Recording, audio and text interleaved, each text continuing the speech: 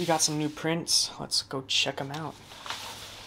Number one, Jellyfish Boggle. Don't ask why it's called that. This one's for myself. No one's buying this quite yet. I'm gonna put it on my wall, make it nice, all fancy. Tiny envelope time.